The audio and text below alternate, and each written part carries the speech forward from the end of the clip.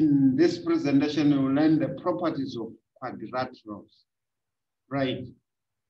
To start with, what is a quadrilateral, right? A quadrilateral is a four-sided polygon having four angles that includes square, parallelogram, trapezium, kite, rectangle, and rhombus, right? What are some examples of quadrilaterals in the real world? That is in our day-to-day -day life. What are these examples of quadrilaterals, right? Look around right now and you surely find rectangles or squares. That is your computer screen, a door, a window, a playing card, a sheet of paper, textbook, the shapes of many rooms, the walls of all houses and the floor in most of the cases are in the shape of quadrilaterals.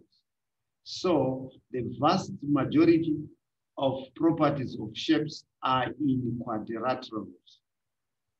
Now, let us look at the mind map of different kinds of quadrilaterals as they are defined. Right? This is quadrilateral, four sides, four angles, right? So in a quadrilateral, we have what we call a trapezium, right? Then from there, the quadrilateral, we have the kite. We have the parallelogram. Then the arrows make sense here right? If I am on the square, that means all squares are rectangles. That's the arrow pointing to that, but not all rectangles are square, right? I'm here on the rectangles, the arrow is in that direction. That means all rectangles are parallelograms, but not all parallelograms are rectangles. Look at this situation square again, I have this arrow in this direction. That means all squares are rhombi, but not all rhombi are squares. Rhombi is just the plural of rhombus, right? Then look at this rhombus, the arrow in this direction. That means all rhombi are parallelograms, but not all parallelograms uh, rhombi. That is very, very important. Now, let us look at the properties of these quadrilaterals.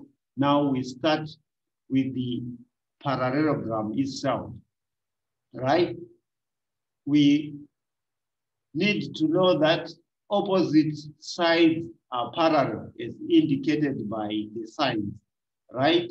Then opposite sides are equal again as indicated by the strokes, right? Then opposite angles are equal as indicated by the markings, right? Consecutive angles supplementary, right? The word supplementary simply means if you add the two angles, the answer you expect to get is 180 degrees. As an example, angle in A plus angle in B the answer is 180. And consecutive means one following the other. Check at A, the next following A is B. At B, the next following B is C. At C, the next following C is D, and so on and so forth. Right? Diagonals bisect each other. That means the diagonals AC and BD, right? They intersect at N. That means now when you say bisect, that means they divide each other into equal parts. That means NC is equal to NA and NB is equal to ND. A rectangle, right? A rectangle has four right angles as indicated, right? Then diagonals are equal the diagonals of a rectangle are equal. That is a very important property. Then all properties of the parallelogram. That means of all these properties of the parallelogram that we have seen, they are found in a rectangle, right? Then add to that these two, that is diagonals and the angles. We go to the rhombus, right? Have equal, four equal angles, right? All the angles are equal, the four of them.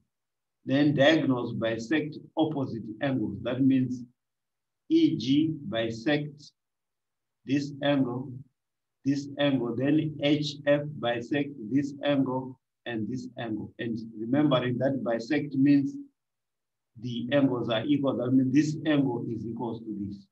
That is what it means. Then diagonals are perpendicular as shown with this right angle. Perpendicular means they meet at 90 degrees, right? All properties of parallelogram. That means with these three, you add all the properties of the parallelogram that we have seen. They are also satisfied in the rhombus. Then we look at the square, right? The square has four equal sides and four right angles. As you can see, as denoted by the strokes and the sign of the right angle, right?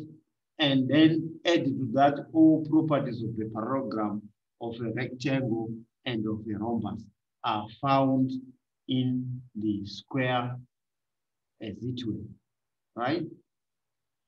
Let's look at the trapezium. Trapezium, one pair of parallel sides.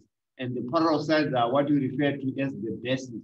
AD and BC are the bases of the trapezium, right? Legs, angles are supplementary. Now, legs, angles, the legs are DC and AB are the legs. But when you say now leg angles are supplementary. Supplementary means they add up to 180. So if you look at angle in B and angle in A, if you add them, they give you 180.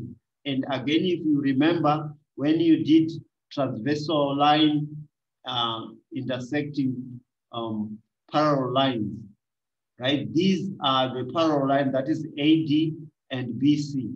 And if we look at this situation, AB becomes the transversal line, meaning this angle and this angle are the U angles. That is co-interior angles. And U angles or co-interior angles are supplementary. That means they add up to 180. The same can be said when you are here, right?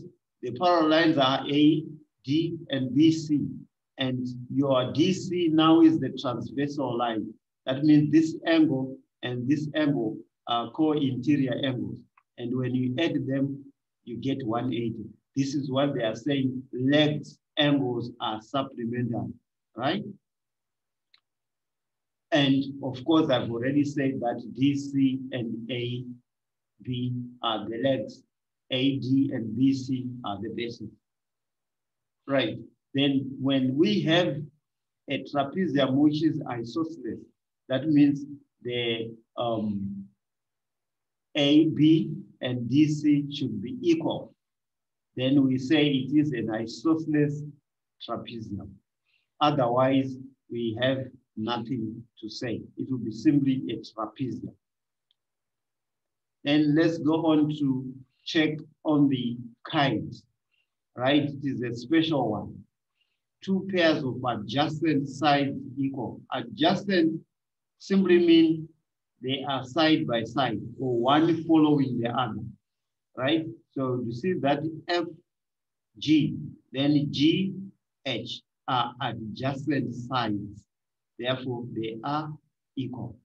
Then to that again, you would see that F, E, E, H are adjacent sides. Hence, they are equal one pair of opposite angles equal. The one marked in red, angle F and angle H are equal. It's just that pair. Diagonals are perpendicular. That means the shorter one and the longer one, they meet at 90 degrees. Small diagonal bisected. The smaller one is FH, right? So the bigger diagonal bisect FH. That means it divide into two equal parts, meaning Fn is equals to NH. Right? Then non-equal angles are bisected. The non-equal angles are in E and G. Therefore, the longer diagonal will bisect these angles, right? Meaning G1 is equal to G2, E1 is equal to E2. Okay, that is very, very important. These properties, you need to know them because they will help you when you want to solve problems in geometry. Thank you for watching. Please like, comment, share, and subscribe.